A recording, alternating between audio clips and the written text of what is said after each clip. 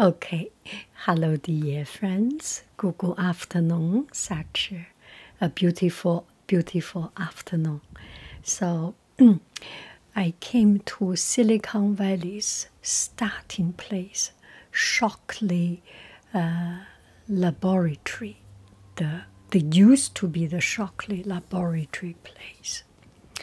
And uh, just not so many people, and uh, they have new building, new building totally changed. So I came here to do an outfit of the day.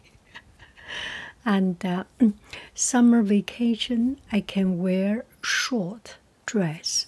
So I am using every possible minute to wear short dress.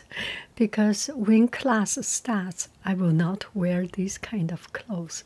So I better make good use of my summertime and of my clothes. And it's so very comfortable. And this one is cotton with little uh, very pale color little flowers and looks um, looks very um, comfortable and uh, and very easy. Yes, and it is. It feels comfortable also.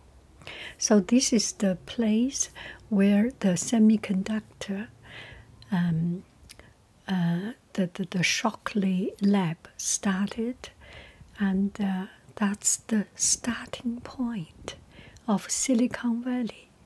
Wow, a piece of history here. And uh, that's uh, about my day. Look at my hair. You have a beautiful, beautiful day. Bye bye, friends.